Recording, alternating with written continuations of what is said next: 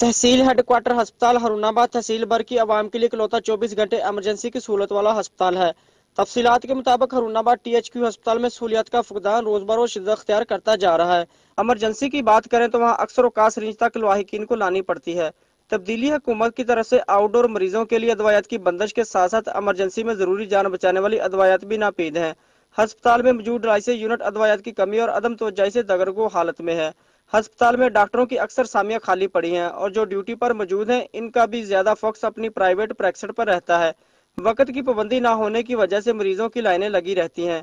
अवामनास का मुतालबा है कि ना सिर्फ़ डॉक्टर्स की सामिया पूरी की जाए, बल्कि अदवायात की फरामी भी यकीनी बनाई जाए।